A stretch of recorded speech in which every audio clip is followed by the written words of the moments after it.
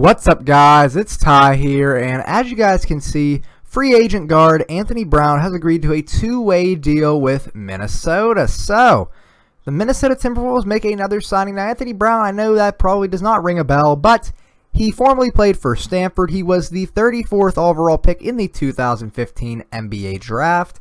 He played for the Lakers a little bit, and he did play for the Magic. He did sign a 10-day contract, but went down. He got sent down to the, or he played for the Erie Bayhawks a little bit. A G League team or D League team. Now it's a G League team.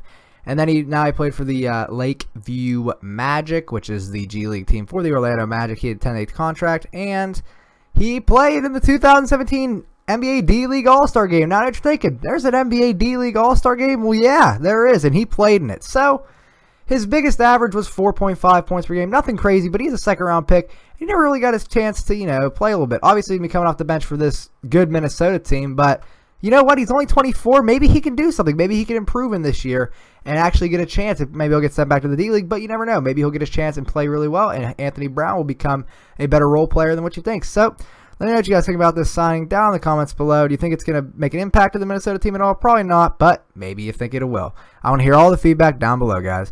If you haven't already, make sure you guys like, comment, and subscribe to this YouTube. If you haven't already, this is Tyler signing off saying, I'll see you in the next one, guys. Have a good one. Later.